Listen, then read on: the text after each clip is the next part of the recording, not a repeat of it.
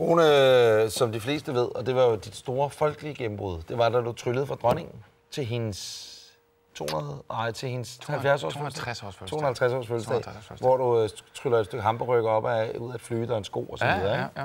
Så var et helt fantastisk trick, i øvrigt. Har du nogensinde oplevet, at de kongelige har tryllet for dig? Aldrig. Kunne du tænke dig at prøve det? Spændende. Spændende. Hvis du skulle vælge en, og der må du gerne sige prins Henrik, hvis der var øh, en af de kongelige, der skulle trylle for dig. Så skulle det sgu nok være... Jeg tror, det skulle være prins Henrik. Ej, hvor er du sød. Men det er sjovt, du siger det. Ja, Fordi, at, øh, fordi her, og det det- står lige der. Lige præcis. Vi kan sige, at her tryller prins Henrik for Rune Klan.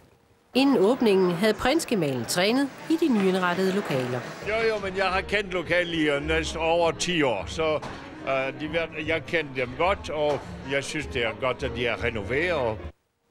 Så du det? Bum! Der, kom, der var to ting. Dels brillerne, men også den der... Har du set Kingpin? Nej. Den der bowlingfilm. Ja. Nå, der, er sådan, der har Bill Murray sådan et, et bowlinghår, som bare er... Det, det, vokser her langt for at vokse over hende, og så gør det bare sådan her... Wow! Det er røvsjovt. Prøv at se, han havde sådan en først, og den kommer lige ind. Vi kan lige se. Vi kan bare se klippet. Hvad siger du først? For håret. Inden åbningen havde prinsgemalen trænet i de nyindrettede lokaler. Jo, jo, men jeg har kendt i næsten Udsiden. over Ja, 10 og så her. år, så uh, de, jeg kender dem godt, og jeg Og- synes, Jo, det er godt, at er hvor er du sej! Du ser begge dele! Nej, hvor er du vild. Må jeg spørge om noget brilletrækket, eller hvad, hvad det hedder det? Illusionistkunst? Hvad vil man kalde det her?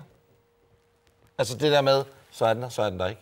Er det bare tryl, eller hvad er det? Ja, Okay. ja men, vi- men illusionistkunst er sgu også et meget fedt ord, altså. Ja, men det, det må tage det. Brug det, som du Ja, har lyst til. ja, ja. Skal vi lave badges?